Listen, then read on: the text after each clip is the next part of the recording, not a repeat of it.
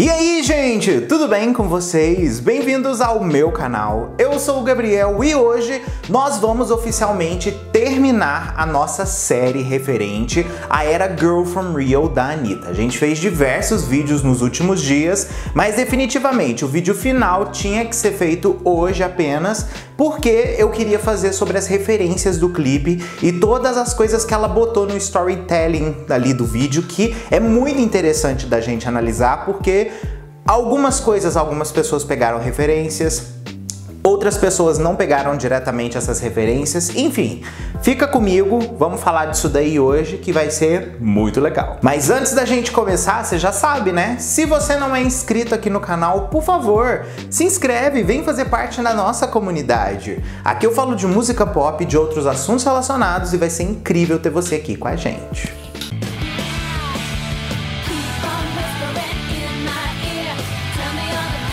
Óbvio, né, gente? Através do clipe de Girl From Rio, a Anitta quis mostrar uma nova perspectiva, tanto da mulher carioca quanto uma nova versão do Rio de Janeiro para o mundo. E não somente, como a gente citou aí em todos os vídeos, o visual típico de cartão postal desses dois lados. Só que é bem importante a gente salientar que, ao mesmo tempo que ela não mostrou esse lado cartão postal com os locais de forma natural, isso indiretamente foi usado também dentro do videoclipe, principalmente nas partes onde a gente percebe grande influência mais vintage quando ela está usando as roupas de pin-up e tals, né? E o clipe começa assim, gente, já com uma Anitta bem retrosuda, bem 1940 da vida ali, e claramente a gente percebe algumas referências referente ao That Night in Rio, da própria Carmen Miranda, de 1941. A gente percebe alguns detalhes como a Anitta com o motorista, o momento em que ela para aquele carro de lado, né? Isso é definitivamente uma referência vinda daí.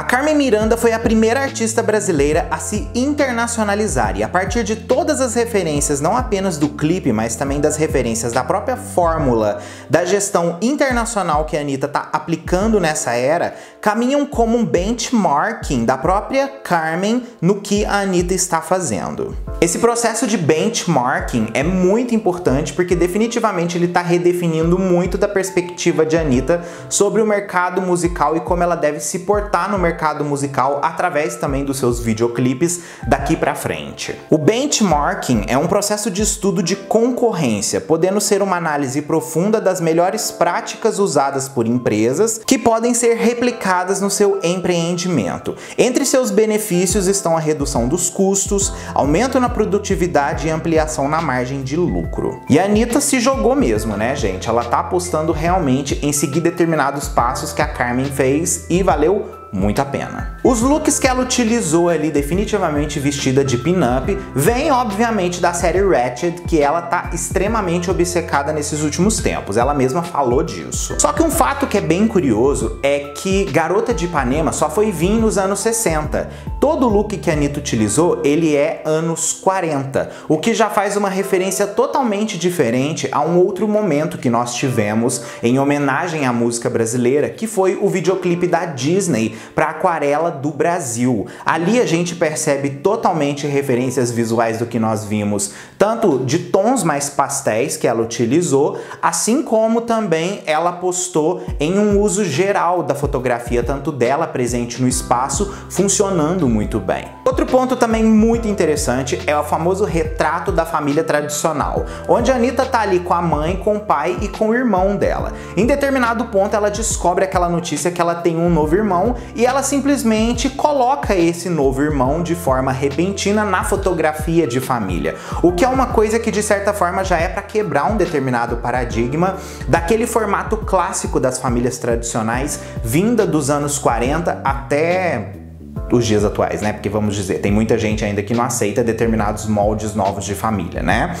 E um pai assumir esse novo filho de repente, depois de quantos anos, é uma coisa meio difícil de acontecer. E a Anitta incluir ele nisso tudo É uma quebra imensa de paradigma. Agora vamos direcionar a nossa atenção para a parte subúrbio do clipe. É uma das mais interessantes porque ele tem uma crítica direta a um documentário extremamente assim, vamos dizer, pesado, que gerou uma repercussão de humor na época que ele foi lançado, mas ele é extremamente racista, ele é extremamente fascista. Temos Anitta e sua família chegando no clássico ônibus da aviação Jurema. Porém, se observarmos bem, existem mais elementos que merecem uma melhor análise. A cena claramente mostra uma referência ao documentário Os Pobres Vão à Praia, exibido pela TV Manchete em 1989. Esse documentário ele recebeu o tom de humor, como eu disse na época, mas ele é extremamente problemático pelos comentários das pessoas da Zona Sul em relação aos famosos farofeiros no ônibus e invadindo as praias. Só que aquele negócio, gente, ela traçou isso para o piscinão de Ramos, mas a referência é bem óbvia, principalmente quando a gente vê o cara pulando a janela do ônibus, jogando o isopor, isso tudo aí está no filme. A Anitta volta também com os famosos biquínis de fita isolante, né? Que viraram uma das marcas registradas do trabalho dela, principalmente no clipe de Vai Malandra. Ela faz esse, de novo, essa referência, né? Só que de uma forma bem menor também dentro desse clipe. Outro detalhe também é uma das mulheres na praia que aparece com a tatuagem escrita Made in Brazil. Essa referência pode ter duas pernas aí. A primeira é em mostrar que a mulher é linda e 100% brasileira, e na sua também melhor forma.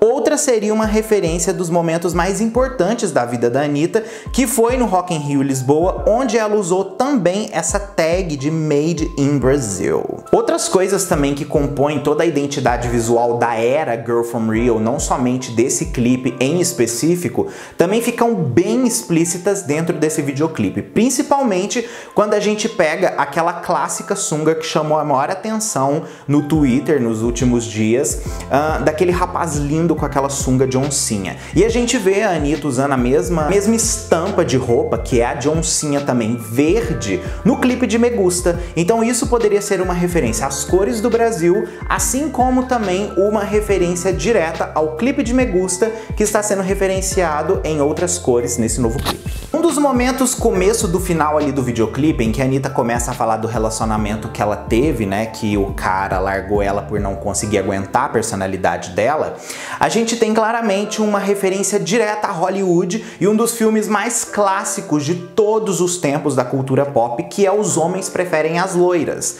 né? Muita gente talvez nem lembre deste filme, mas esse filme é um clássico de Hollywood e é estrelado pelo ícone Marilyn Monroe. E ela dança ali no meio daqueles caras que se mostram extremamente apaixonados por ela e querem dar tudo para ela, coisa que a Anitta fez no videoclipe. Outros detalhes também na parte ali mais subúrbio, como por exemplo a cerveja de Ipanema Chopp fazendo referência diretamente ao sample da música utilizado, por mais que eles não estejam em Ipanema, assim como a própria calçada que aparece em toda a identidade visual do clipe, que é a ali no caso da de Ipanema, é mais uma das referências fortes que nós temos referente ao sample da música Garota de Ipanema. E assim a Anitta conseguiu construir toda essa narrativa. Ela mistura brasilidade, ela mistura críticas e ela ainda consegue colocar coisas confortáveis para as pessoas que estão assistindo de outros locais. Ela colocar essas referências mais hollywoodianas e clássicas da identidade visual do Brasil para o mundo é uma sacada genial para fazer com que as pessoas tenham essas memórias afetivas